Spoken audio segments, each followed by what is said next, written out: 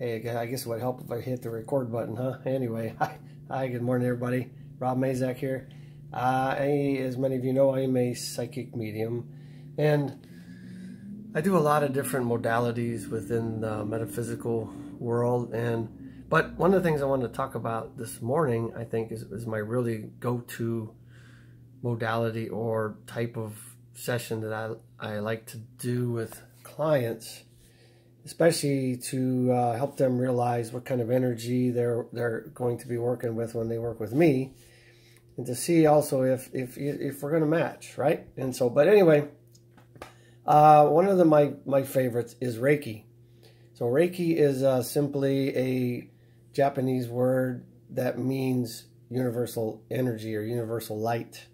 There are a lot of different types of Reiki. Um, there, the one that I practice is an older Japanese modality or practice called Usui Reiki. It's kind of a weird name. Anyway, but it, it really is a very, very wonderful way of helping people take their scattered energy within our biofield and recentralizing that, bringing it back in. Sorry, I got a little cold or allergies going on here. Anyway, but um, it, it is a wonderful uh, modality to use with people. And so a lot of people um, don't quite entirely understand what it is, but really it, it it's um, hands-on or hands-off healing, but basically using the hands.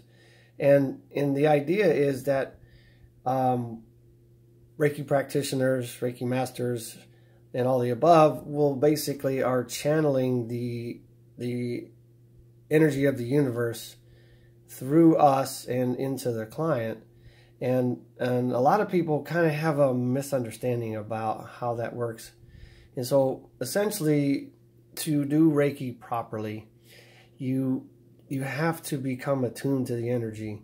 Now, is it impossible or possible to do that, to do energy healing without an official attunement? Sure.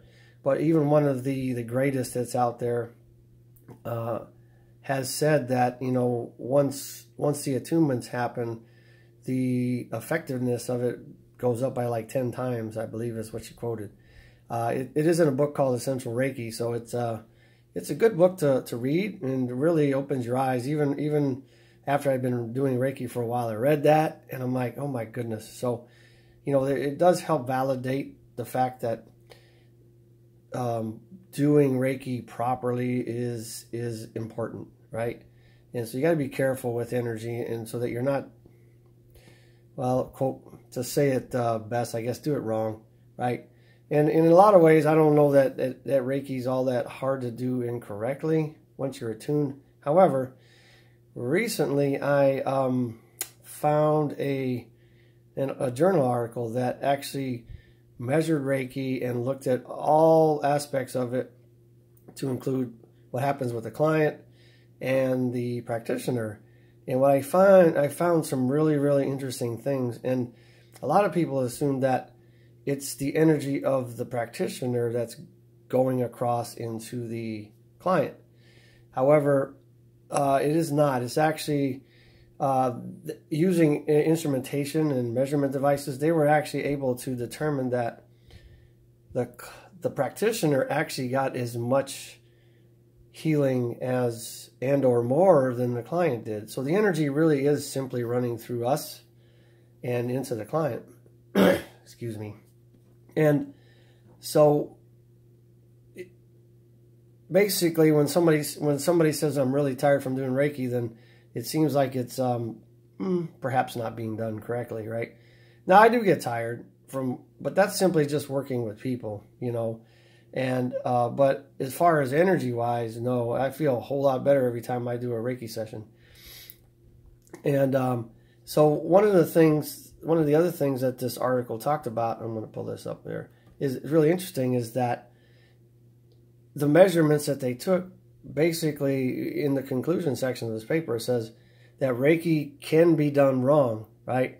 And, and that you should really follow your recommendations from your Reiki master because if you're not channeling cosmic or universal energy, you may be actually picking up something else. And, and for lack of a better word, infusing it into the client. And so uh, intentions are important um, on both sides for the client and for the Reiki master. And uh, it's interesting that science is actually showing the same thing, right? And and further on in the recommendations or the conclusion, it says that you know you should balance your own energy before you're working with a client, which makes sense, right? But um, and and like I said, one one one thing that I really realized today is that Reiki is not well, I've known this, I guess, but uh, it's not necessarily voodoo or hoodoo or magic, right? Uh, it is simply becoming attuned to the proper source of energy, channeling it properly through you into the client and letting that energy do what it needs to do, right? And there's some intentionality that goes into that, different symbols if you want to use them, right? But the other thing that's interesting is there's a there's a fellow by the name of uh, Doctor. I'm pulling this up too, Doctor Bruce Lipton, and he is a cellular biologist, right? He went after trying to understand cells, right? He wrote a really good book that I suggest that you guys read. It is, is really awesome. It's called The Biology of Belief. And basically, it he is showing through science that you can affect cells within your body for change simply through belief systems. Well, I mean, it's not as simple always, but you get my point, right? But one of the things that he brings up, uh, and I've heard this from several other people, is that the body is basically a walking um, nuclear plant, if you will, right? And so essentially we have, uh, quoting from him, right, we have 50 trillion cells within our body. That's a lot, dude, right? And in each cell membrane has the potential of 0.07 volts. So if you simply multiply that together, we are a walking, talking 3.5 trillion volt meat suit? person, right? Entity, whatever you want to say. So we, we really are able to affect change a lot more than we think, right? And so, uh, as you can imagine, if you have that much energy to provide to other people, uh, imagine what you can do, right? For this earth, for the environment, for your client. Um, but anyway, I just wanted to kind of little tidbits on Reiki, and uh, I will be talking about it again this weekend uh, at the Red Feather Healing Metaphysical or Holistic Fair, uh, which is on Saturday and Sunday. We open though both days at 11, and uh, that is over in Universal City, 2035 Universal Boulevard. Uh, that's also where I practice for four days a week, and so I do have other things uh, that I do, but I really really like to have you guys come by and listen to the talk, you know, and, and see what, what, what the store has. And, and uh, anyway, I just wanted to share a little bit about Reiki and, and hope to see you in future and uh, to experience this modality. It's a lot of fun. Have a great day.